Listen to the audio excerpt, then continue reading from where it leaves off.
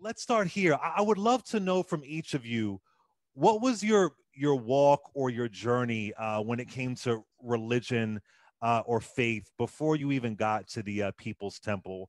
Uh, let's start with you, Miss Williams. Well, uh, first and foremost, I came from a religious home. My father was a Baptist minister, and my mother was very involved in missionary work. So I really felt that I was grounded and I knew what my sense and purpose in life was uh, about. And so our Christian doctrines really governed primarily everything that I did. And since I was the youngest child of four, my activities were monitored far more closely than any of my older siblings. And therefore, we went to church every Sunday and also we attended Sunday school. And uh, we just lived a middle class life. So uh, for me, living at the time when I grew up, it was just absolutely phenomenal. And again, the primary vision of my family was focused on Christianity and us treating people the way we wanted to be treated. Mr. Newell? I would say um, our family was quite the opposite. You know, we didn't go to we didn't go to church on a regular on a regular basis. Um, I um, I learned uh, at an early age from this lady. She had a, a hat shop, and she used to uh, call me in there and, and, read the Bible to me. You know, but as far as uh, going to church every Sunday, um, that wasn't a, a, household thing. You know, um, being from the South, you know, um, we just didn't go to church on a regular basis. And then when we came to California, it continued you know, although I was uh, baptized at the age of 12, you know, we still didn't go to church on a regular basis. We wouldn't, because our parents didn't go to church, we didn't, we wouldn't uh, force to go to church. So. Um, and I meant to ask you as well, Ms. Williams, but I'll ask you first, Mr. Mr. Newell. Uh, at what age did you join the uh, People's the People's Temple? Um, I was uh, 16 when, when I joined. My mother uh, brought us into the church at uh, I was uh, 16 years old. 16. And what, what about you, Miss Williams? What age did you join? I believe I was around 11 years of age. I was in middle school at the time. Wow. Uh, Miss Wagner Wilson, you joined at 13 years old. So, so yes. tell me a bit of, of your, of, with your family at least, uh, what religion and faith was like in your family before you joined. Well, I was raised, my sister and I, Michelle, were raised by our grandparents until we were four. So my grandparents were the deacon and deaconess of a Baptist church. So that was our first introduction to Christianity. Um, when my mother came to, to get us, she had married uh, my father, Richard Wagner, who adopted my sister and I. And um, he was an atheist. and so we went to church sometimes, um, rarely, but it was an interracial church in San Francisco. Uh, the father that my father that adopted me was, was, you know, white and so once they divorced, we didn't go to church at all. Sometimes I would go because I'd meet friends, and this is when I was around, you know, 10 or 11, and they they would take me to church with them. But as far as any, you know, scheduled services, um, Sunday Bible study, that that was not um, that was not a part of our family structure um, after 10 years old.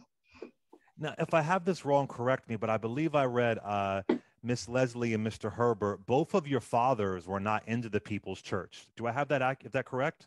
Yes, that's, that's correct. That's correct. That's interesting, Mr. Herbert. Why do you think your father uh, rejected the People's Church? Well, I imagine my father. Uh, I imagine my father. He uh, was taught at an early age. You know, this this lady raised him from from a kid. You know, because he lost his uh, mother at an early age. And so uh, she raised him. So I imagine she took him to church and she uh, taught him the Bible. And um, when my father and one of my uncles came to the church, um, they instantly walked right back out of there because they just felt it wasn't right. Mm-hmm. And and did Mr. Herbert, didn't your father say before y'all went to Guyana, didn't he say he's going to kill y'all? Do I have that right? Uh, he told my mother that before we uh, relocated to San Francisco because we were living in Los Angeles at the time, and um, he told my mother, "Yeah, that man's just gonna take you guys over there and kill y'all." You know. Um, hmm. I didn't hear I didn't hear that remark. I didn't hear him say it to her, but um, later on I found out that um, that's what he had told her before we um, moved to San Francisco. So here's the here's the question that a lot of us in our community ask. What was it about the People's Temple that really that you felt really began to appeal to black communities because it was majority black.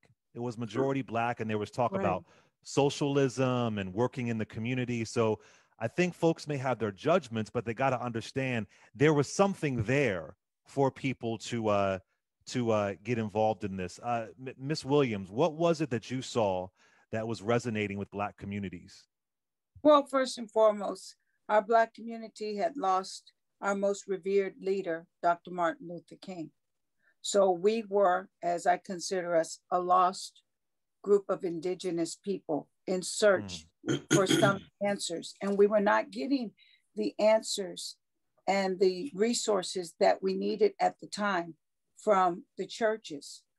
And so, what intrigued us and motivated us to become a part of People's Temple was the fact that there were social services readily available to us. There were people who appeared to really be interested in our well being.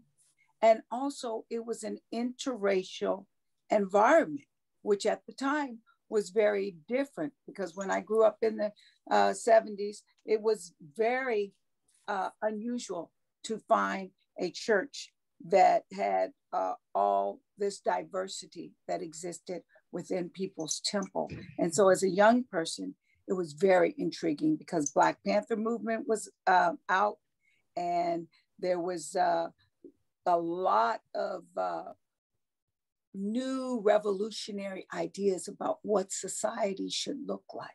So that's how I feel and what intrigued me and maybe some other younger people that were my age. Miss Leslie, what, yes. what, did you see that was that was appealing to uh, Black communities? Um, so for me, it was a little different because I was raised in an interracial household. Um, so I really didn't recognize color until actually People's Temple. Um, race was never discussed in our family. Um, so I think what appealed to me the most at 13 was the fact that I had no idea that people were hungry. I came from, from a very upper middle class family. I didn't know that people suffered. I didn't know that children went to bed hungry. Um, I didn't know there, there were social injustices because it wasn't um, a part of my my my situation or what I was I was introduced to. And so that's what appealed to me was, you know, my mother was a care home owner of mentally ill patients. And so she was very adaptive and she was very inclusive. So when I saw People's Temple, um, for me, it was different because I had not honestly um, been around that many Black Americans, right? My school experience was basically, you know, all Caucasian, but I felt, um, and Jim didn't look much different from my dad. Um, so the interracial situation, my, my, it was kind of like the opposite but I just felt like the programs that were introduced and the fact that at 13, I felt like I could make a difference in the world, right? Um, People's Temple accepted everyone. You know, back then, you know, homosexuality was a taboo, prostitutes. We had everybody and anyone that came into the church. And I was exposed to that. So it opened up my eyes to other folks besides myself. And I loved People's Temple in the beginning you know, I thought that we were doing really good work. And I call People's Temple, it's called People's Temple, the Disciples of Christ, that the members were the disciples of Christ because they were the mm. ones that were really trying to emulate what was good in the world and how we should live and how should how we should treat each other. So that was my that was the appeal to me. Mr. Herbert, was that was that your experience as well? No, mine was uh, totally different from theirs. I was a, um, a young black kid growing up in Watts. You know, um, um, wasn't a whole lot of things to, to um, keep yourself active or whatever. Uh, we didn't have a lot of positive role models are a lot of positive things that we can get into. So, um, of course, I went the opposite direction. You know, um, joining the gang.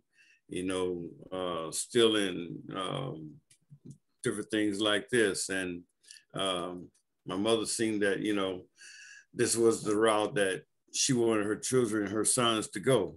And so me and my older two, older two brothers were getting in trouble, you know, uh, doing drugs or whatever. And so um, my older brother, I guess he had got into some real trouble and because the church, because the church um, had all these social services, they turn you to represent you if um, if you had legal issues. And so mm. um, my mom, she um, use the services of, of the attorney that we had in the church. And so uh, helped him get my older brother out of some trouble. So I believe that's what um, made her want to get more involved. And my last year of high school, um, we had a summer trip um, to go across the US, 11 Greyhound buses, you know, caravan across the United States to different states, you know. And that was exciting to me to never have been out of California other than from leaving uh, Mississippi to California. You know, I never got a chance to travel or, you know, see other parts of the country. And so um, when I was a part, when I got a chance to be a part of that trip, it was, it was exciting, you know, and seeing all the young people, people of all different ages, the young, the old, senior citizens. And, you know, I thought it was, it was a great thing to be a part of. So that's wow. what appealed to me. Mr. Herbert, I did not know they offered legal services. I, yes. I did not know that. That's really interesting because I'm from Philly. I have so many friends and cousins who've been locked up. I mean, that's a really uh, that would obviously be a good thing if you heard that. Like, hey, the, it's expensive legal services once they get you in that system. Correct. that's correct. very. Thank you for sharing that because I, out of all my reading, I, I didn't know that. All right, so let me ask y'all before we get to Guyana. I want to ask about what I perceive to be, and this is my perception looking out, obviously in retrospect. Uh, I guess cracks that you would see, and one of the things that I heard about it was the um, Jim Jones doing healings. He claimed that he was a uh, a healer, and uh, Miss Leslie, I heard you talk about that um, in one of the documentaries. You said that um, y'all would, if I have this wrong, correct me, but y'all would seek out people that Jim Jones could heal. And do I have that right? Right. They did. Well, they did, although we didn't know that until after we came back from Jonestown. But yes, they would actually, um, they would stage someone to be a part of the healing services.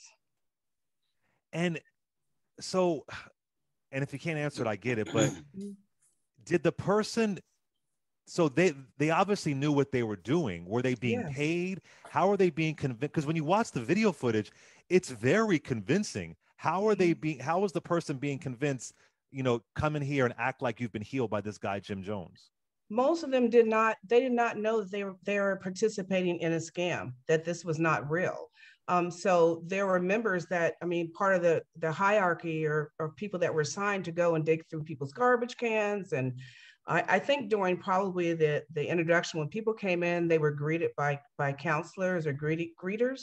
And I think then they were, they were trying to obtain as much information from that person. And then they would pick and choose who they wanted to, to, to, to call out and then give that information to Jim Jones. And he would, he would call, give them personal information. Oh, I, I, I know your, your child's in prison or something that no one else would have known. And so they were convinced that they that they were actually being healed. And there was one person who I who was whose grandmother was a member, and this is how it's it's so deceitful is that she was supposedly healed from cancer. And so when the cancer came back, um, she thought she didn't have enough faith, and that's why she she wow. she didn't, you know, her cancer came back um, because she didn't have enough faith in Jim Jones and what you know we called him father, and she ultimately, of course, died. But the participants who went out and did this just purposely deceived. And really, they deceived our community because our seniors were really the ones that were there for the healings, right? They're the ones that that gave up that Christian-based um, knowledge and and went went went ahead and listened to Jim throw the Bible down because they thought that he was a prophet and that he was a healer. And to add to, to, what, go ahead, please, to add, please. To add to what Leslie has said, um, for example, he had supposedly healed both of my parents. When my mm-hmm. dad came there, my dad had been uh, off of work. He was a city employee due to a heart condition, and he was told he would never be able to go back to work. And so, as a child, I was extremely concerned about that because we were accustomed to living a very good lifestyle. And it, it was, I was questioning how were we going to survive? Well, when my father heard of Jim Jones, he went to Redwood Valley seeking a healing because he had heard from one of his minister friends that Jim Jones was a prophet and he could heal people. And so my dad went and he came back so excited, telling him and my mother, they were telling me because I didn't go that Sunday. I didn't want to get up that early to go all the way to Ukiah. It's a two and a half hour drive from San Francisco. So I accompanied him several other times because I enjoyed what I was seeing, what I was witnessing. Church with the swimming pool inside of it. You get to go swimming when church is mm. over. One Sunday, I'm sitting there in the church with some of the young people in the choir, and he called out my dad by name. He told my dad that he was from Louisiana. He shared with my father something that happened to him as a young man, how he was run over by a racist driver who left him for dead. He told him some other things as when he was a young man in Louisiana. And then he looked at my dad and he said, Reverend Williams, I'm going to ask you something. Do you believe in God? Well, of course, my father said, absolutely. He said, Do you believe that prophets will be present in this world? You'll be able to see them. He said, Of course. Mm-hmm. And then he said, Well, I'm saying to you right now, everybody close your eyes. He says, You are going to be healed. I want you to run around this church. My dad was not supposed to be running or doing anything. He was very weak. Next thing I knew, mm. my dad had run around the inside perimeter of the church twice. And my dad went back to his doctor uh, about a week later, and his doctor said, Rev, I don't understand this. He goes, but it seems as though everything is back to normal. Um, and my dad said, Well, good, because I want to go back to work. Well, my dad went back to work and he worked at, at least another eight, nine years, wound up working on, on church projects, building things for them. But the one thing I have to say is in that instance, it was, in my opinion, my father's mind that made him believe it and he was able to repair and and create that positive energy to change what was going on but my mother was also healed supposedly of cancer, but she did not tell me until after we came back. She said, when they told me to act like I wanted to use the bathroom, and I did, they this nurse came and she had a, some Kleenex. And she says, I will swear something was in that Kleenex, but she told me keep trying to act like I had to have a movement. And all of a sudden they came up with this thing and she said it looked like a chicken lizard or something. And she said, Ooh, and it just stank. I know that that didn't come out of me. And I said, Mother, don't mm. say those things. Don't say that you weren't healed.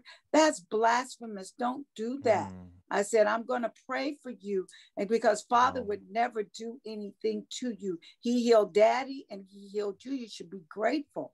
But this is what we were seen and exposed to. And at the time, we believed it because it looked so real. It looks so real. But I just want to say something right quick. So I remember my first negative thought about the healings was I was on the island, you know, they would call someone like Yolanda said into the restroom, they're going to heal them of cancer. And the nurse would come out with this, you know, her hand up in the air with this white tissue with something that was just, you know, it, it smelled horrible. And so chicken, at one time, I chicken liver or something. Yeah, they were they were putting chicken livers underneath Jim's house or something, letting them spoil. This is after the fact. We knew this when we came back from Guyana. But the first, but I had how are the cancers coming out? Because remember, we don't have Google, we don't have the internet. But it was how is every cancer? Where is it coming from? And why are they all the same? And so that was my one of my first negative thoughts like this something's wrong here but you look at the audience and you look at everyone else who's engaged in this and so you say oh, it must be me. It must be me. I don't, I don't understand, or I don't have enough faith. But that was my first really a red light that something could be wrong. And I think you wasn't, was, you wasn't the only one that felt like that, Leslie. I felt like that also. You we know, couldn't discuss that with each other. You couldn't discuss it with anyone, but um, you know, um, my father, when he, him and my, one of my uncles came to the church, um, uh, they instantly just walked back up out of the church because I know he was a fake. But um, mm. I'm looking at all the all the seniors all the seniors there, all the children there, and I'm thinking if this is so wrong, why are all these seniors here? You know, because you know you think the older person is, the more wiser they are. Right. You know, so if it, if it, if this is wrong, um, they wouldn't be here. But I'm still wrestling in my mind, or you know, just hearing that thought in the back of my mind saying this is not right. That's you know, but you, you, continue to go along with it. Mm-hmm. You know. Uh, let, let me ask so, and this happens if I have this right before uh, going to Guyana, but I read that his there were these newsletters, and his wife uh, explicitly admitted that she was willing to share her husband, uh, Jim Jones, with other women. Uh, and so I, when I read that, I'm thinking, uh, wow, I'm how does that not shake people's faith when he's openly philandering with other women? I mean, that I would think I could be wrong that it goes against, you know, uh, some some doctrines. Right. Uh, how does that not shake people when he's having sex with other women? Well, I remember the well, first time it was. I'm sorry. Go, you go. It was in Redwood Valley, right? Because I I was raised in Redwood Valley, Ukiah, and he was talking about from the pulpit that he was having extramarital affairs with women. And he would talk about how his knees are, are scratched up because he was such an ardent lover. And he was doing that to help people stay in the church, right? And into the temple. And I thought, well, that doesn't even make sense. And I had not, you know, I did have some some Christian background where that was unheard of. I would never hear a pastor openly talking about having extramarital affairs, affairs not just with with women but men. And yes. I think, and that's why I thought, you know, I think back, why did my mother grab our hands and run like hell? Because this was not normal. This is one of the other instances that that weren't normal. But I again, I think people at that point were so they compromised so much, and you can you can make excuses for anything, right? Anything so they can say, okay, he's having extramarital affairs, affairs, but he's helping me with my rent, or I have a place to stay, or I'm I'm able to eat. So it's just about it's just how you how you make excuses to move forward in something that you really feel in your in your in your heart is not correct, if that's what your beliefs are.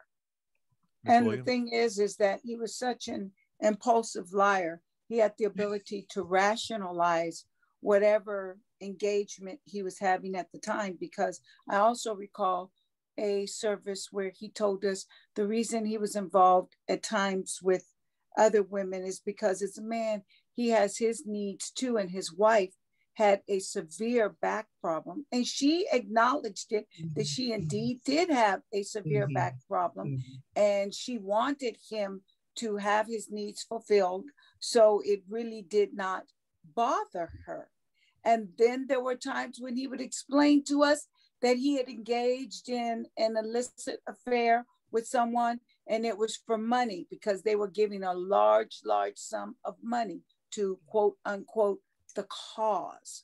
Or either it was a situation where he, out of the kindness of his heart, he put himself in a humiliating position to protect us from harm that could have been brought up on us had he not uh, conceded to the advances of some women. So and I want to also I'm let, sorry, let me also add because I'm sorry. Um, I want to add this too because I don't want that to be. Um, want to make sure people heard that, uh, and I want to be really clear when I say this. Uh, this is nothing homophobic. Everybody knows I am a gay man. This is nothing homophobic whatsoever, but I just want to make sure people heard it that he also admitted to having sex with men. Absolutely. Uh, which I still, it's, it's just, it just shakes me up like, these are, you know, I'm thinking elderly people might be more conservative. Like, how does this not, boom, make people say, "Yo, what's going on here?" Um, Again, well, I'm, I'm, sorry. So go, go, go ahead, Mr. Herbert. Then Miss Leslie. with, with with Jim Jones, I remember him saying, you know, um, whatever you uh, see me as, that's what I am to you. That's what I'll be for you. You know, whether you well, you want to uh, call me father, I'll be your father. You want me to be such and such or such and such or such and such, that's what I'll be to you. Well, that's what I'll be for you. You know, so he was trying to fit into everybody's um, needs or whatever. Mm-hmm. And so it was, I guess it was easy for people to um, accept that. Rationalize it that way. Go ahead, Miss right. Leslie. I'm sorry. The church mantra was basically uh, the means justify the ends. we heard that all the time. The means justify the ends, which meant, I mean, we were not raised with any moral standards. I will tell you that. My first, uh, and you talk about, you know, in the 70s, um, someone openly gay was not, I mean, I wasn't, I didn't even know that, it, I didn't know it existed, but it was because he rationalized everything. And I think that, again, the means justify the ends. That's that's what we were taught. And I and think that the larger. Go ahead. Oops, go ahead. I'm sorry. Go ahead, Ms. He was a very complex uh, personality and a paranoid man. So he would make it a point to always appear as though he was speaking personally to you. He had that mm-hmm. type of uh, ability and he was able to read his audience so well that you dared not really go into severe questioning of anything that he did because of course there would be always consequences yes. if you question too much even corporal punishment i heard uh, yes. to be honest with you what you just said miss williams that kind of sounds like like trump to be honest with you all right exactly. listen uh, that's we, what i said he, he very trump interesting is jim jones right. So we have to head to a break. We're going to come back, and then I want to talk about uh, Jonestown, Guyana. And uh, we are talking about cults, and we're talking to three survivors of the uh, Jonestown massacre in Guyana on November 18th, 1978. Over 900 people were either murdered or committed suicide, the majority of those being Black people. Uh, I want to go. I want to introduce. I want to bring our panel back on, but I would like for y'all to tell me um, who you lost at the Jonestown massacre.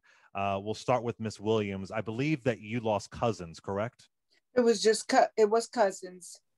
Mm-hmm. Lost cousins.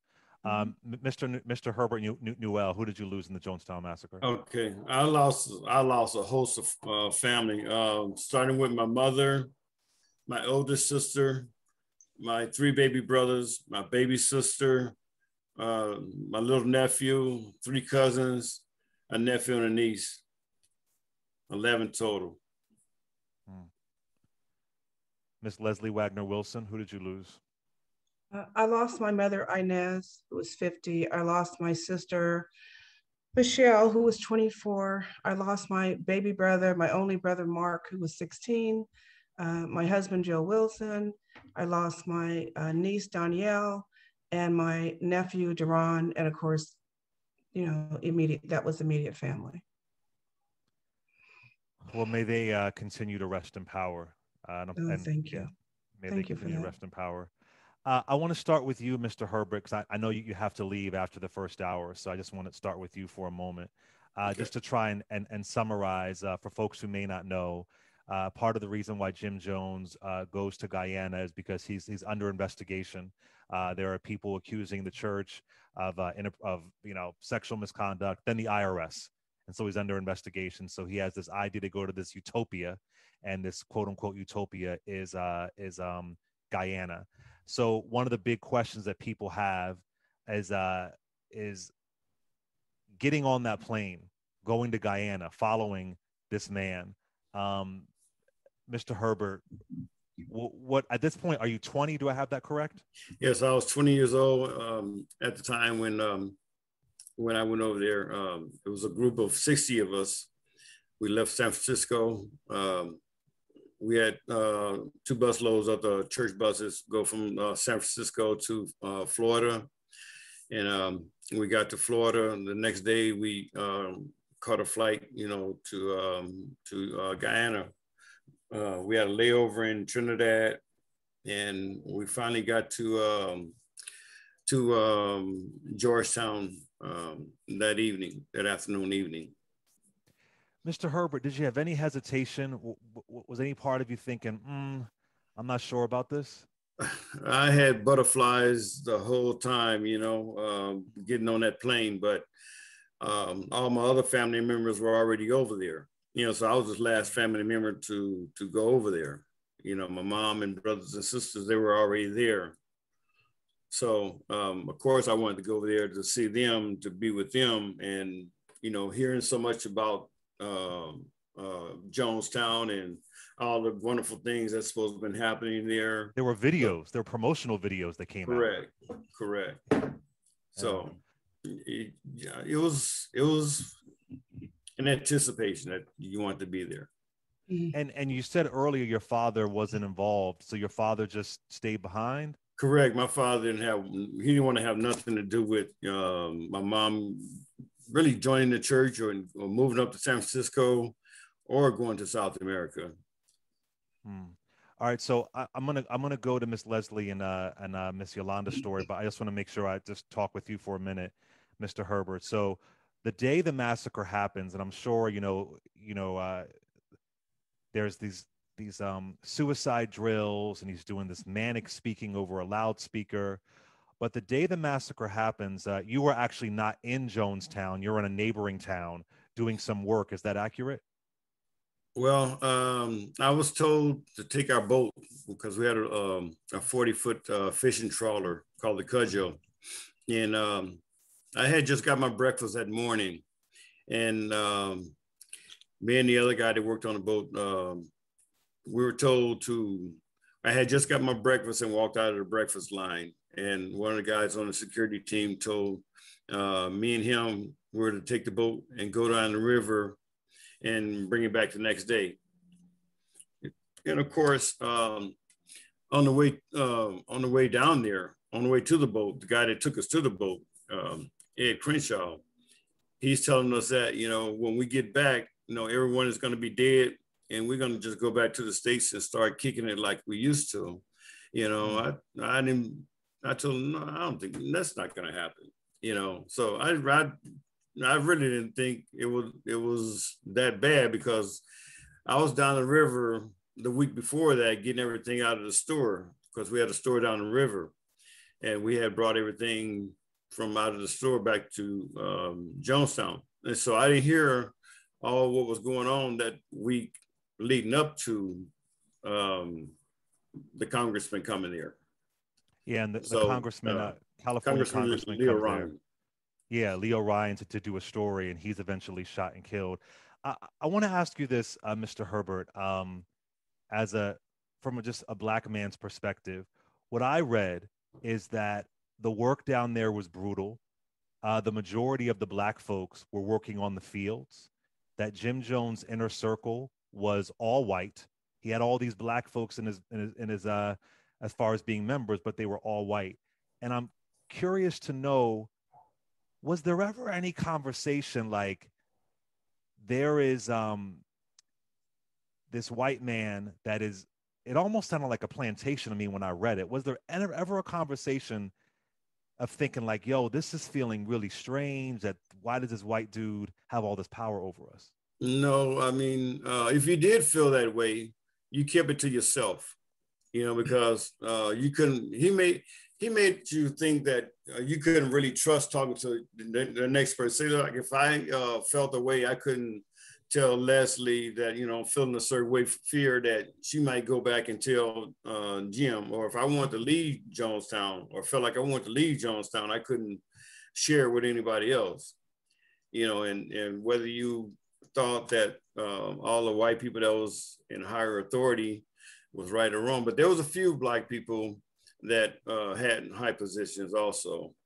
you know, such as um, what was it, Johnny Brown or Jim McElvane, you know, um, these guys, or uh, there was a couple other guys also, you know, but his inner inner circle, I believe they were, you know, white women or they were white know, women. A lot of people, you know, folks got to realize that Jim Jones was high as a kite, and he had to have these women around him uh, to release people around him to really orchestrate all this happening. And I'm sorry, I'm fast forwarding. I, I want to go back, but this was really striking to me, and I, I do want to talk about your family as well. But when the massacre happens, after it happens, the authorities lock you up. They put you behind bars because they believe you might be a part of of killing congressman the congressman. I was really struck by that that that kind of happens today that you're wrongfully behind bars uh, because they think you may have been a part of this as you just lost your entire family. Just speak to that for a minute. Correct. At the time, at the time when um because we we had um went down river and we docked our boat and we started we got there around what four in the afternoon, three or four o'clock in the afternoon and um, we started cleaning up our boat and uh, like one o'clock uh, in the morning a guy in his army came to our boat and uh, arrested us and um, they look at the timeline and it just didn't match but um, we they they all they just put us in jail that night. And the next day sunday morning they came back there and told us that you know 400 some people were dead up in jonestown.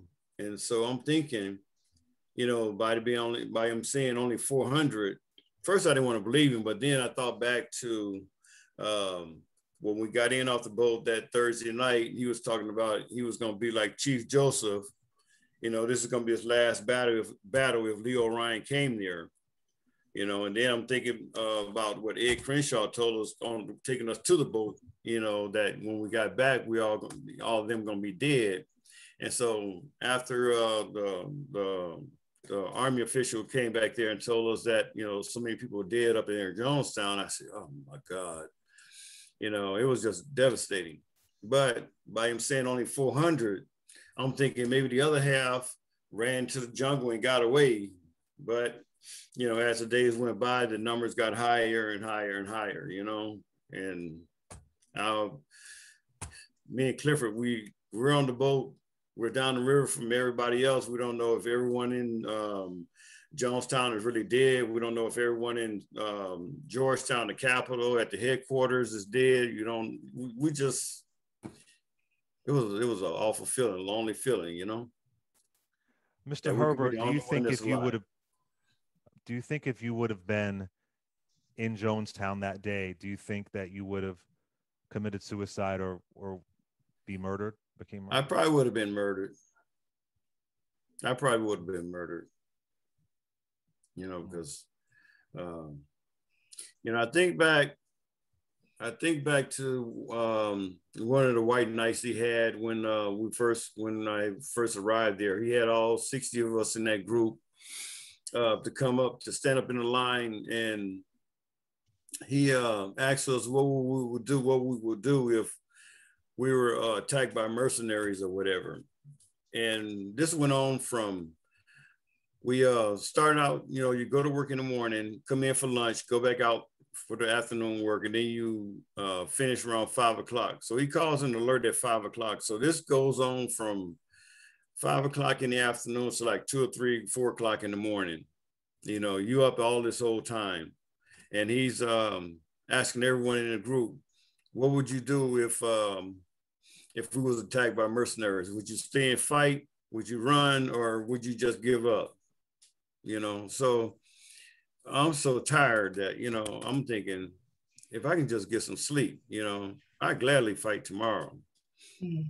You know, but um, yeah, I figured that was another way of him brainwashing us by, you know, conditioning your mind, you know, keeping you up at all these all types of hours, you know. And your uh, your mother and the rest of your family who you lost. Uh, it, it, is there any details? Is there any accounts of of what happened with them? No, I I heard one of my brothers, um, the one next to me, um, the the poison or whatever didn't work quite well with him, and they had to give him another shot or something to that effect. Mm. Um, um, Uh, as far as the other ones, I'm not sure exactly, you know, um, yeah. uh, what how they met their demise. I, I heard uh, Jim Jones's son, his biological son, because he adopted a black son in Indiana and did like a big press thing about it. It was so uh, silly from my perspective, from outside looking in. But uh, Jim Jones' son said that his father was a stone cold racist, that he wasn't yelling the N word all over the place, but he was definitely a racist. Yes. Um, what What are your thoughts on that, Mr. Herbert? I wish I had known, you know, but um, I didn't see I didn't see the signs of it that he was a racist. You know, even though I was one of his um, what they call apostolic guardians. That you know when when he's on stage, you know, you're he has one person on each side of him, and you know wherever he went, you know, um, we went with him. Um, I never saw any signs of it, but you know, I wasn't in the inner circle to hear and see all what he said. You know. So how do you how do you get through? Uh, and I again, I'm I'm gonna get to uh, Miss Leslie and Miss Miss Yolanda, but I do want to know how did you get through the trauma? It's something I I can't imagine, and it's constantly referenced in pop culture. It's constantly spoken about. How do you get through the trauma of losing so many of you, so many folks in your family?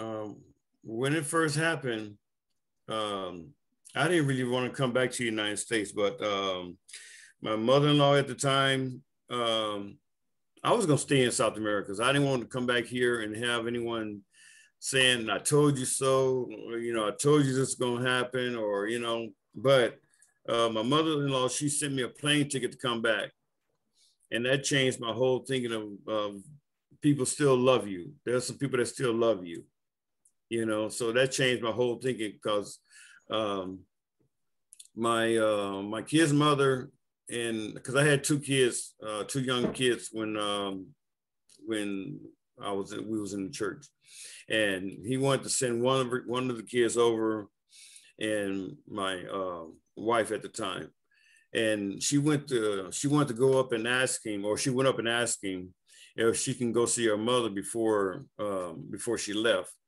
And he told her instead of your mother shimmy shaking her behind with Ray Charles and her Raelettes, she should be here helping the cause. And so she took both kids and left the church, came back to Los Angeles. And so uh, after this happened, um, her mother told her that, you know, I was going to need her help, you know, so because we had separated, you know, she was here in Los Angeles and I was over in South America. And so after it happened, you know, uh, my ex and my kids, my young kids, they were my they were my support. They were they was what uh, give me something uh, to continue living for. And of course, you know, my mother-in-law at the time, she helped me a lot, you know, through it. And um, that's what gave me the will to live. I mean, I know I had lost most of my family, but you know, you still got to survive. You can't just give up, you know? Mm-hmm. That was, that uh, was. Yes, yes, definitely. Absolutely. Uh, can you tell people out there because uh, again i don't think being in a cult is a white thing at all can you tell people out there uh, who may be in a, maybe they're exposed to a cult maybe they have friends or family who are you know they feel like they're in a cult uh, what are the signs you may have missed that people should pay attention to now um, someone always um, um, orchestrating your life your movements your thoughts or what have you, telling you what you can do, what you can't do, or what you should do, or what you shouldn't do. You know, restricting restricting your um, uh, conversation with your family, friends. You should just, uh, you know, saying that you know you should just be involved with um, the people of the organization. You know, uh, they don't want you to have no outside contact with um, the, the real world. I would say, you know, um, be careful of all that, you know. So and where, where where is your soul? Where is your spirit now when it comes to faith or or religion or what you believe in?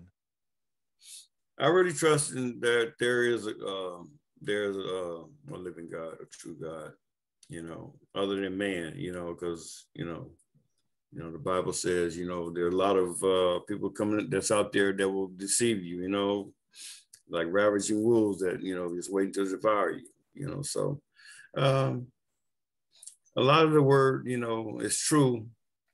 And um, you just, like you say, you have to decipher it for yourself. Do you think Jim Jones was uh was a version of Satan? I truly believe he was a, a version of Satan or a false prophet, teacher, whatever you want to uh, label it. You know, hmm. and um, I have my own uh, conspiracy theories about the whole thing. You know, um, what do you mean? Uh, as far as I don't know if it's uh, fair to say or good to say on on TV or whatever, but ever since way back when, you know, where they were trying to get rid of our leaders, you know, and our people, you know, from Medgar Evers to Malcolm to King, the Kennedys, the Black Panthers, you know, whenever we had a leader, they always seem to try to destroy our leaders where we don't have anyone to help us march forward, you know, and um, since um, they crushed the Panthers. That was the last organization, you know, that was doing something for Black people. You know, um, then this man comes along as a false prophet, as room. a false prophet, or I'm not sure what you want to label him, uh, agent of the government, or I don't know. You know, mm. Um, gather up all these Black people, have the resources to gather up all these Black people, take them to South America, and you already have this poison with you, or you bring this poison in. I just want to finish our conversation, Mr. Herbert. Uh, to summarize, uh, you think there's something, so this is your opinion. Again, you are a Jonestown survivor. You lived it. You didn't do an outside doc on it. You lived it. And you believe that uh, there is something suspicious about uh, Jim Jones and the time that he comes about. Just explain that to what you were saying. Yes. I mean, because um, uh, when we when I joined the church, you know, he, he was talking about socialism and communism and um, the church being uh, having informants in it and stuff. And then when we go over to South America, you know, he's talking about you know um, uh, Cuba, China, Russia, you know, of course, you know, uh, United States and, and uh, Russia uh, was at odds at that time. And my theory is, you know, um, I'm not sure if he was maybe a part of some secret organization or something where let's gather up all these black people, take them over there and kill them. That way we'll eliminate another group of people that, you know, that's not thinking American, you know, or, you know, uh, I just have my, my thoughts about it. I mean, the, the resources to be able to do that is really and jarring. who knows where all those resources came from. Yes.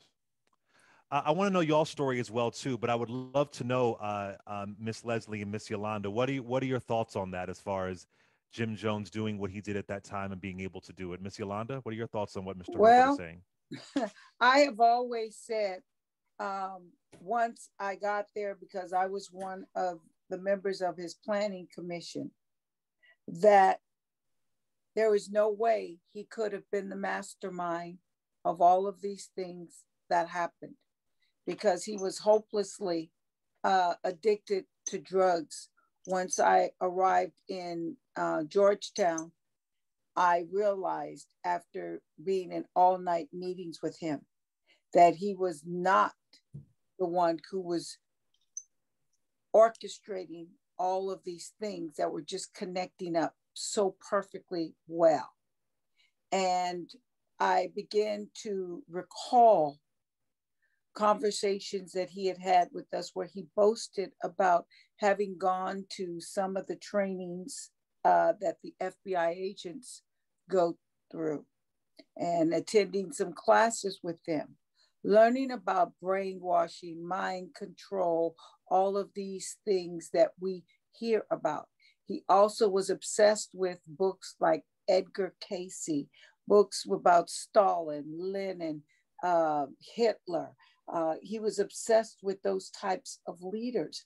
And so in my mind, I begin to start to get extremely uncomfortable around him around him and then i started to in my own mind set up a timeline and start thinking about things and the realization came to me that i truly believe that this was an fbi uh, assignment he may or may not have gotten out of control but certainly this was i believe a test to, of mind control and to see how far you could get someone to go. Because there's no way that anyone can tell me one person could move 900 plus United States citizens, have all of this money laundering going on, all of these retirement checks, all of these properties in San Francisco, Los Angeles, and other places throughout California being sold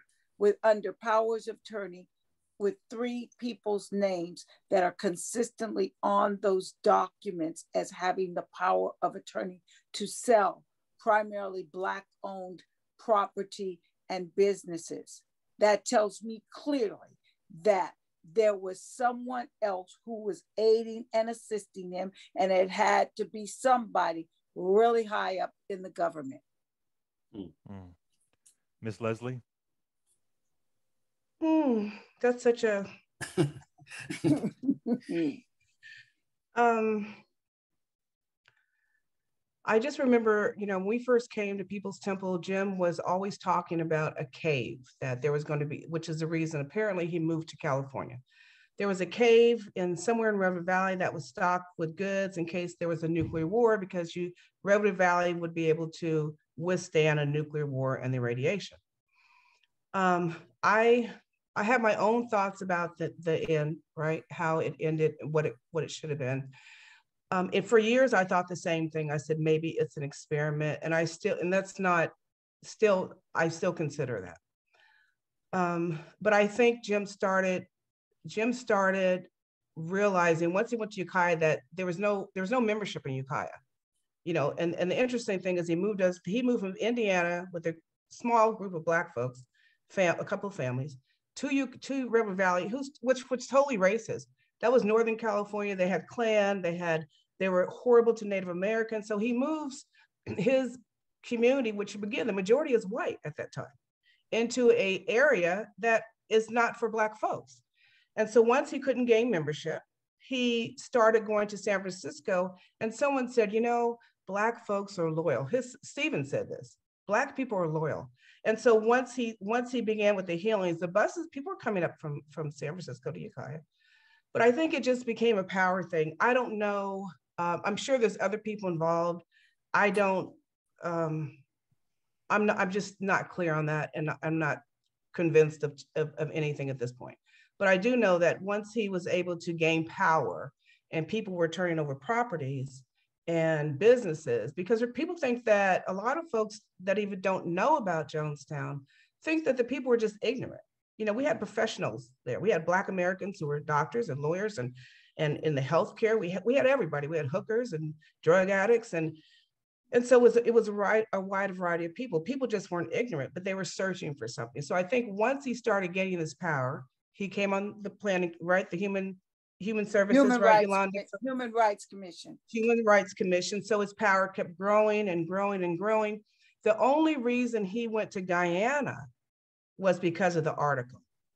Jim did not want to be in Exposing Jonestown him. because there was no accolades. He was out of the public eye, right? right. Mm. And so once he got into Jonestown, and his plan, I believe, was to go back to San Francisco. But because of his ego, Yolanda, you mentioned drug drug use. We none of us knew that he was on drugs, basically. Right. Um, and so I think once, because he couldn't go back to San Francisco because he was a prisoner in Jonestown, that it just escalated.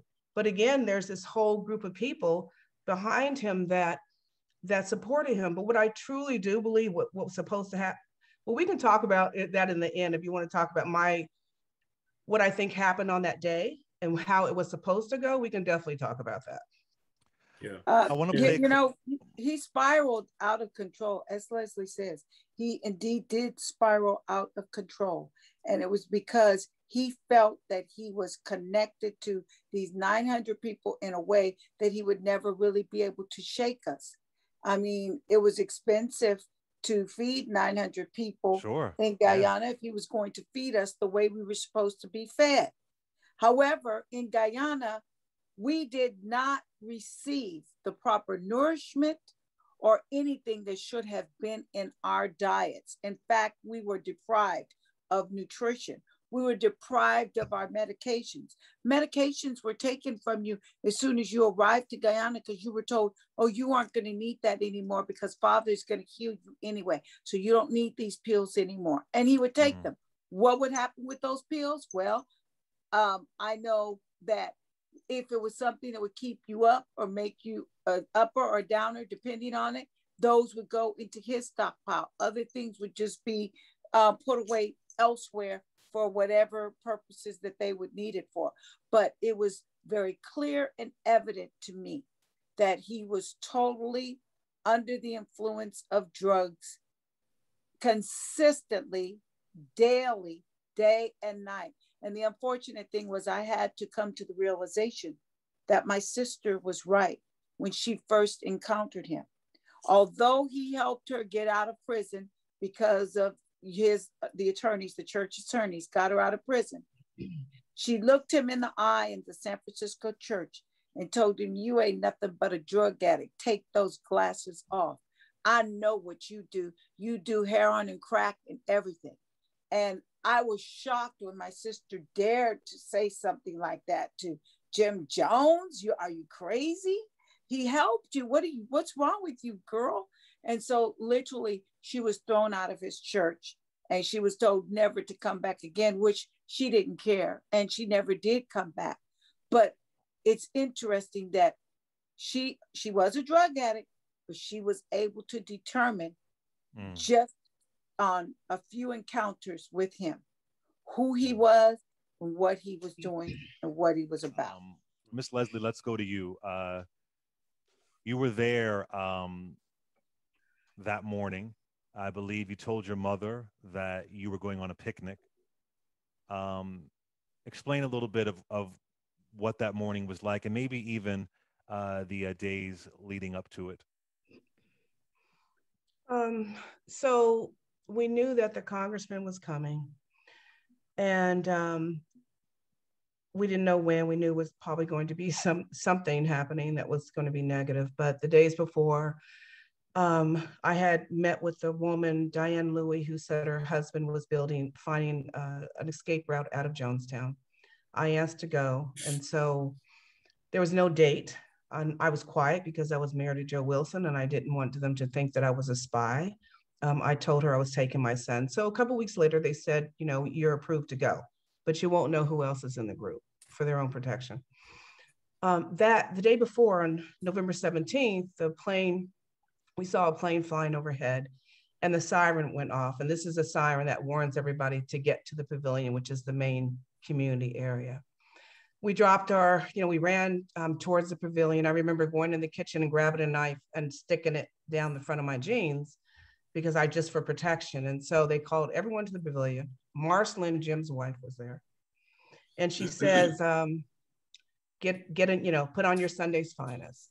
Uh, don't speak with anyone unless you're told that you can have a conversation. And so we went back and we got dressed, we took our showers, we tried to put on something decent. Um, and then later on, we had dinner. And Diane says to me, Diane I was on the steps of the um, pharmaceutical, you know, the pharmacy. And she says, they're feeding the, the pigs before the slaughter. And I said, Diane, don't say that. Don't say that. And so she said, We're going to leave tonight. You know, later on, she comes to me and says, Richard says we're going to leave tonight. And so you've seen the clips of everyone, you know, screaming and hollering and dancing and pretending to be happy. You won't ever see a clip of me in Jonestown. I always stayed in the background. Um, and so Congress, Congressman Ryan is there and he's, you, you've seen the videos. So that night I went to my mom and I said, Mom, I said, there's something wrong. And she says, Baby, I'm tired. And she was 50. And I said, There's things I'm seeing. I worked in the medical field. I worked with Dr. Schacht. I was supposed to be sent to Cuba to become a doctor, me and another person. Um, and so I worked with Larry Schacht and I, I saw the discrepancies of care. Some people had services. There's people that should have been sent to Georgetown because of their diseases like lupus to see a specialist. They were denied those visits because they might have been considered um, a flight risk. And or and they only sent the ones who were in the hierarchy, right? That were that were somebody on their in their terms. And so I saw this discrepancy and I thought, well, wait a minute, we're supposed to be loving on each other. And I saw that that was that had pretty much dwindled to nothing. But I realized this is I have to get my son out. And so I told my mom, Mom, I'm just seeing things that are not that are not right. And she goes, you know, baby, I'm tired. So my plan was to leave, go get my dad, who was part of the concerned relatives, and come back and get the rest of my family out. Um, so we decided, so I was told we're going to leave on the 18th. The community was so tense, you can cut it with a knife. It was just this quietness, just a quietness before the storm. And I remember seeing Johnny Cobb, and I said, Johnny, and he goes, not right now. He was, not right now, not right now. Everybody was in this kind of frantic, you know, motion. So we are supposed to meet at the at the kitchen at 10 o'clock, 10ish, 9:30ish or so. And I got there and I had Jakari with me, you know, our son, who was three at the time. And uh, there was not a lot of movement. Um, someone said to me, "Your sister wants you." Richard's just not. You can't. You can't go. We have. We have to go. But once I saw who was coming with us, I was shocked. I, I never would have thought that they were unhappy because you did not show your emotions. You just you just did not. You couldn't trust anyone. I couldn't trust my mother to say that I was leaving because I believe that she might have thought and told, thinking it was for my own good, right? And so um, Joe came to me and he says, Where are you going? And I said, On a picnic. He goes, It's not a good day. No one thought once you said picnic that you can't go make a sandwich. The kitchen is closed. There's no refrigerator where you can go make a picnic. But it was such a ridiculous idea. Thank God for Richard Clark, you know, giving us that excuse. It didn't even register. So he gave me my son back. Uh, I mean, he took my son, and then I went to see my mom at the library. And I said, Mom, I'm going on a picnic. And she looked at me because she knew her daughter. Like, what are you, what are you into? What are you thinking about? Um, and I said, We're going on a picnic. And she goes, A picnic? And she just looked at me with wonderment, like, I'm sure you're not going on a picnic. And I was able to hug her and kiss her and tell her I loved her, not knowing that was the last day I was going to see her. So we started trekking down this road that Richard Clark, you know, the main road, and I had no idea which way we were going because I, I didn't ask. I didn't want them to be suspicious. Um, and so um, Stanley Gieg comes on the tractor down the road and he says, "Where are you going?" We're going on a on a picnic, and he's like, "Get back to the get back to the compound. They're on the way back. The entourage is coming back in." Um, so later on, we would discover we got lost in the jungle, and there was 11 of us. It was 11 black folks. We there's, there's 11 black people that were the resistance, right, in that time. Uh, Richard Clark, I call my Moses. Diane Louie, I call my Harriet Tubman, because without them, I would not be here today. Hmm. We got lost in the jungle um, because Richard was trying to grab a package, and we heard the tractor, the trailer coming with the guests. We dove on the right hand side, which is on the right hand side of, this, of the security shack, and we got lost. And then we end up so close that we could hear the conversation at the at the at the gate at the guard at the guard shack. And so when we finally made clearing, Richard says we're going to go to Park Port Kaituma. That was his plan. He his trail was on the other side through the piggery to go to Port Kaituma, which was all where all the shootings were. And I just said, I can't, I can't go to Port Kaituma. It's too, it's too close. You know, if Joe finds me, my husband, and we were estranged at the time, he'll he's gonna kill me. He'll he'll kill me. You you thought your husband would would shoot you? Oh, he would. Your husband. Oh yes, because he, he was a part of security. Yes, wow. he would have. Yes, he would have shot me. He had pulled a gun on me before in Jonestown. Um, wow. Yeah, and so um, we had exchanged phone numbers, and I said, if I don't make it, just get my son out. Just just get my baby out. You know, here's my dad's number, but let me if if you if you see him killing me, go. You know, you guys try to get out. Here's contact information in case some of us didn't make it. We can contact you know our families, the families of those, and and let them know what happened. And Richard says, well, Matthews Ridge is over 30 miles away, and I said, I I have to go to Matthews Ridge. I cannot go to Port Kaituma. I could not. And that's why I wouldn't choose to go with the congressman. I knew I wouldn't make it. I, I knew that I wouldn't make it. And so we proceeded to follow this railroad track, you know, um, and walk and walk and walk. And, and uh, I had Jakari on a sheet, tied to a sheet with my back, and a couple guys would help me back and forth. And we walked and we walked, and we walked, and we saw this train pass. And the conductor looked out at us like, what are they, what are these? Because it's dirty, it rained, we're filthy. Why are these people on the road with these kids? And he, the train kept going. And so we sped up. We said, we better get to Matthews Ridge because we don't know who he's going to tell that, that, you know, that he saw us. By the time it, it was dark, I don't know how many hours we had been walking. It was a long time. And the train came back. And Richard says, we're going to get on the train if the train stops. And we're going to get someone to take us to a phone booth so we can call the US Embassy. Um, we got on the train. Um, the train, he, the conductor stopped and they found someone to take us to a phone booth. We ended up at the police station. And the police had drawn weapons on us because we didn't know what happened in Matthews Ridge. We had no idea what had happened at Matthews Ridge. And he At said, the airstrip. sorry? At the- At the airstrip. At Yeah, the, the where, where the congressman had- was killed. Yeah. Yeah. we had we had no idea that the, that the There's no cell had occurred. phones. There's no text messaging. yeah. There's no nothing. There's no Yeah. smoke signals because we don't have matches. There's nothing, right? There's Right. nothing. They had a two, Um, they had a two-way radio, you know, they, they could radio into Jonestown, you know, that way, but as far as telephones, anything like, that, no. Go ahead, Leslie. Um, so the conductor came up and he said if they were not there, they were on the road at this certain time. And so the so they they let us come up into the police station, and, and so we didn't know if it was friend or foe, because Jim had said anyone if any of us escape, Guyana knows that we're supposed that we will be arrested.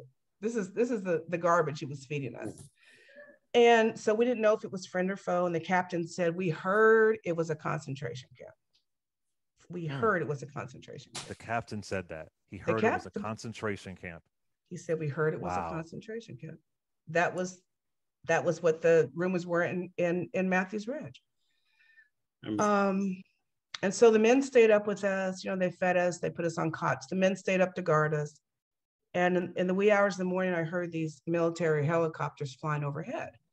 And I woke Diane, I'm, you to hear what's going on? Why is the military coming in? And then uh, the captain came in early in the morning. He said, here, the report is, as he- Herbert said, 500 dead and 500 have run into the jungle. And we're 500 dead? How? They don't have any reports. They just know that was the initial report. And so i just we all broke down. We were we were devastated. And i was just praying that one of my family members made it out. Right. one of them made it out. And um, i never you know um, they flew us to georgetown the next day and we met with this woman from the state department who says uh, we're going to fly you home, but you're going to sign an affidavit promising to pay us back $1,100 when, Right. once you get back to the States. That's, yeah, that was our welcome. I'm glad you're okay. Um, and so, of course, um, you know, I had my son with me, and that was the main purpose to, to get out. Um, and we, they kept us in a, in a hotel in Georgetown. The first call I made was to my, to my dad. And the first thing he said was, why didn't you get your brother out? Hmm. And my my brother was my mother and father's natural child. And then I realized I didn't have a dad any longer. You know, I was a, I now was an orphan. Wow. I called my grandmother. The Reverend Cook picked up the phone and I could hear her screaming in the background. And then, and he says, you know, we, I'm, I'm sorry. He said, we almost lost her. My grandmother got on the phone. She goes, I prayed for one. I prayed for one. I prayed for one. And the Lord sent me two. And so um, I called Joe's parents. His mother was upset because he had been already titled an assassin. And so that first like day of just making phone calls, hoping that I would get what I needed because I was still in shock. And honestly, I didn't believe her. I didn't believe everybody was gone. I just couldn't accept that. I was not ready to accept that I lost my entire family. I just wasn't. Miss Um, Leslie, did, didn't you say mhm. also that when you came back, and if I'm wrong, correct me, that you said uh, media and even folks in black media were kind of brutal to y'all. They were just really brutal. Like, what's wrong with them? How do they fall for this? Right. Uh, how did that feel to even get that from your own community? It felt horrible, but it was understandable because, you know, yeah. all the facts were not in, of course, right? We were named the death cult and we're killing our children. So I wasn't surprised because they didn't have all the information. I read the first, years later, I read the articles. They were, they were horrendous and they were full of lies. A lot of them were full of lies, but I felt that we were now, you know, stigmatized. Mm, labeled you know, as um, fanatics and right crazy things. And versus so, the, the the real villain is Jim Jones and his exactly. team. That's the that's the that's the devil right there. That's right. the devil right there. But because right. we're followers, but because we're followers, you know, we're all we all we fall into that whole that category as being crazy, stupid for following this man, you know. But um, you know, once you well, with piggyback on what you said about uh, concentration camp, you know, once you got there, once you left Georgetown, it's a 24-hour trip from Georgetown, the capital, to Jonestown, you know, by way of the boat, the Cudjoe. Mm-hmm. And 24 so hours. Leave, 24 wow. hours. It's a 24 hour trip. You leave wow. Georgetown, the capital, the harbor that uh, afternoon, evening. You're on the ocean all night. Uh, by the time morning comes, you're at the mouth of the river leading up to um, uh, Port Kaituma. So you're on this river, this winding river all day long. And by the time um, it's about what, five o'clock in the evening, uh, you reach Port Kaituma. And then uh, you got to off, offload the, the boat with the people and their supplies or whatever. By that time, it's what six or seven o'clock in the evening when, it, when it's dark. And over there in South America, um, uh, if there's no moon, it's pitch black. You know, so you're going down the road on this tractor trailer. You know, you all you see is trees and stuff on the, on the side of you, and there's a little dirt road in front of you. Uh, by the time you get to Jonestown, then you see all these lights. But um, once you enter that front gate, um, for the most for most people, that's the last time you saw that front gate.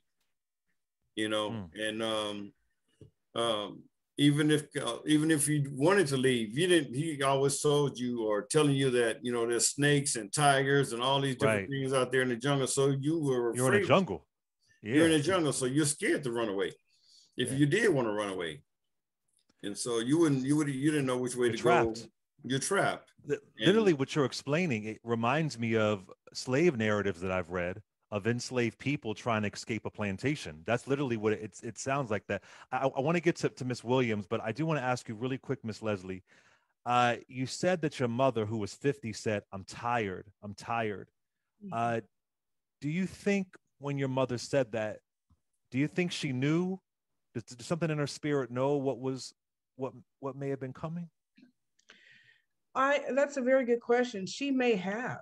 She may have known. I, I think part of that was ha- thinking about, oh my gosh, this this this isn't working, and having to go back to United States with nothing. My mother was a business owner, a homeowner, gave gave gave up all that and facing my dad and other other maybe my grandparents. I think she was tired, and she may have she may have suspected in her spirit that her days were numbered there that is mm. that is a great possibility.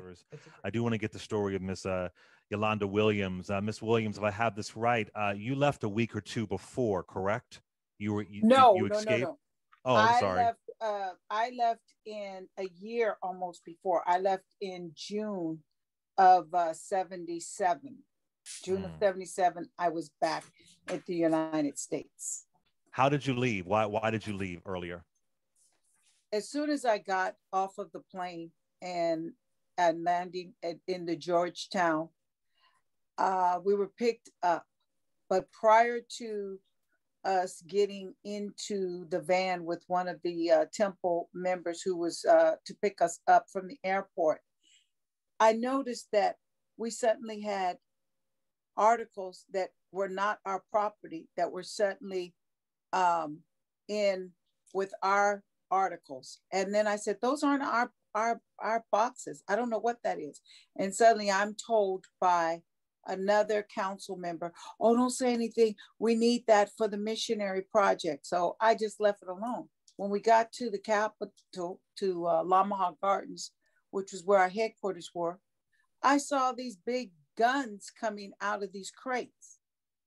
And all of a sudden I said, uh uh, something is going wrong here. We're supposed to be an agricultural missionary project. What we need all these big guns for? At the time, I didn't know there were rifles or anything because I was not, I had never been exposed to that type of stuff. But then they stripped us of our passports. They asked for our passports and they demanded any US currency that we had. Well, I was smart enough not to give them all of the money, US dollars that I had. But at the same time, um, I was fortunate enough to primarily stay in the capital because of my ability to be able to procure goods for reduced prices for the church because um, they were trying to keep to a very strict, strict budget, which meant we didn't have the food that was afforded to Jim Jones. He was eating steaks, eggs, bacon, everything that you would think you could eat in the United States. Whereas we were eating, I had one time to fix fish head soup, which I've never made fish head soup. That was what we had. And he told, oh they God. told me to prepare something. Fish head soup, outrageous mm. with all of the money that he had pouring in. Then they started uh, censoring the mail, incoming and outgoing. So when I would go out to procure goods, I found a way to get letters, sneak letters, make sure nobody was following me because we were told don't ever try to go to the consulate because if you do, we'll know and you will be punished. Okay. So I would sneak to the post office. I had a Guyanese citizen that I would pay money to to get phone calls to the United States. This is how I knew then suddenly that Jim Jones did not, was not a prophet. This is when I knew absolutely for sure because he kept saying, I don't know how people in the United States, these media and everything, we're in all night meetings. He said, I don't know how they're finding out all these things that are going on here. It's just incredible. Never did he know that I was the one leaking the information back here to the United States, to my family, to get to the media.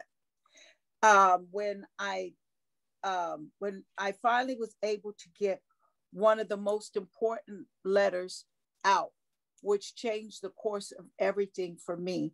Because after seeing Jonestown, after seeing the mistreatment and witnessing a young man being put in a six foot trench because he dared to try and escape Jonestown, and then being told at night to be careful, don't try and wander away because you don't know what's out there in the jungle hearing his voice 24 hours a day, seven days a week, nonstop over the airways on the radios in the in the compound and even in uh, the capital, where we, where I primarily stayed. Having visited Jonestown twice, recognizing there was no real toilets, there was no toilet tissue provided. As far as shower heads for showers, that didn't exist. It was just water running out of a pipe and then I started to really panic because I remembered him showing us the movie Night and Fog repeatedly, and then seeing uh, barricades and showers that looked and resembled very much like what was used to gas Jewish people, the Jewish people. And then I really, really said, I've got to get out of this place some kind of way. So I took a chance. It was Jim Jones' last trip quote unquote, to the United States because he was going to try and make everything right. So he was telling us by those of us who were working in, in the headquarters in Guyana. And I had written a letter to my mother. And in this letter, I was telling my mother I needed her to come and get me. And I had no passport, no money. And I needed her to not give them her passport if she was able to come and to tell them she had no money, but bring enough money so that she could pay for an airplane ticket for uh, my husband, my daughter, and for me. And I looked at Jim Jones's sons because they were accompanying him. Uh, it was going to be Stephan, Timmy, and Jimmy. And I had to choose which of these three sons I could trust to give this letter directly to my mother without it being written, read, excuse me, by one of the people that was accompanying him. So I looked at Jimmy and I pulled him to the side and I said, Look, Jimmy, I got something really personal I need to tell my mom. I don't want anybody to know because it's really embarrassing. Can you give it to her? I, do you love me? Do you really understand? I said, We've always had such a great relationship. Can you do this for me? And he told me he would. I said, please promise me you're not going to show it to anybody. It's really personal. He said, I, will give it to her. I, I promise you, Yolanda. I said, okay, I really appreciate it, Jimmy. And I hugged him and I handed him the letter. When they got to Florida and they landed, Jim Jones was standing there in the presence of my dad and my mother because my dad and mother were mm. left in Florida to greet the temple members before they then boarded the KLM Dutch Airlines to go over to um, South America. So Jimmy handed a letter to my mother. And when he handed it to my mother, my mother just immediately put it inside of her bra. Great, great thing that she did. And then suddenly my mom told me later on when she got where she needed to get to that Jim Jones had scolded Jimmy and asked him if that letter was read by anybody and telling him, you don't give something to somebody without it being read. And he go, I, I, it was read. They read it. They read it. And so, and so my mother said she was waiting for him to try and get the letter from her. It was going to be a fight in the airport. But she did read it when she got back to the hotel that they were um, staying in. And within a few weeks, without me even knowing if the letter had gotten to her or not. A taxi cab pulled up to the home and a guy in his cab driver came out and he goes, is there some Americans that live here? And I said, why? Who wants to know? And he goes, well, I have a lady, an American lady in here, and she's looking for some missionary project. So I said, well, tell her to get out and let me see who she is. Because again, I was afraid. I didn't know what was going on. I didn't know if it was somebody set up to to do something to me because they found out that I had been the one that was getting out all of this information. So I was on pins and needles for like two weeks. And suddenly the person that comes out is my mother. Oh my God. There was so much joy in my heart to see my mother because I knew at that point it was going to change what, what was going to happen to me. And when my mother got out of the cab, the only thing I could say to her is, don't give him your passport. Tell him you don't have any money. Don't give them your money, please. We got to get out of here. Mm. And my mother followed what I said. As soon as she got into the home, the first thing they asked her was for her passport. She told me she wasn't giving them nothing. They asked her if she had any money. She told them, No, I don't have any money. I used to have my one way round trip ticket. And they said, Give us your passport because we'll protect it. She said, No, the government said, No one's to have my passport but me, and you're not getting it. So that night, we, we made a plan, we made a pact. We never let allowed him to filter through or break our family unit. And we decided we were going to be the ones that would be bold enough to go up and tell him we didn't want to be there anymore. We we're being held against our will. And so we had to negotiate with him for over two and a half weeks to finally get him to let us come back to United States. We had to pretend as though I was coming back so I could go to UC Berkeley to finish med school.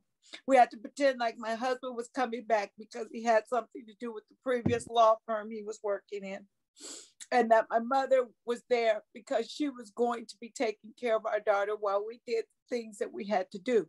But we were told, don't you ever talk.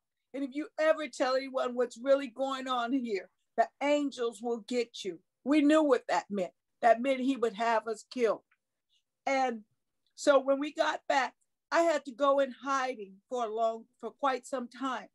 But prior to the incident, I received a call uh, from an attorney that was working with us, and I had to give a deposition. And I was so afraid. I told him, I can't go to, to Washington or to any capital to give a deposition. I'm afraid for my life. So they brought the people um, to San Francisco. And in my deposition, I described Jonestown as a slave plantation and a concentration camp, and that we were sleep deprived. We didn't have the proper nutrients or anything. I came back to the United States with over 12 or 13 different types of infections. It took me years for some of those infections to leave my body. And I remember when Congressman Ryan called because my parents were one of the group of the concerned citizens. And he asked me what my thoughts were about him going to Guyana. I told him it was a brave undertaking, but I advised him that they had big, big weapons. I didn't know what they were called at the time, but I told him if you want to go and help them, make sure you bring somebody with you who also has weapons. And you know what he told me? Don't worry, I'm going to be safe because I have the the shield and protection of this government, of the government. I said, he asked me, he said, would you like to come? Do you, would, are you concerned about these folks? And I said, yes, I'd love to come.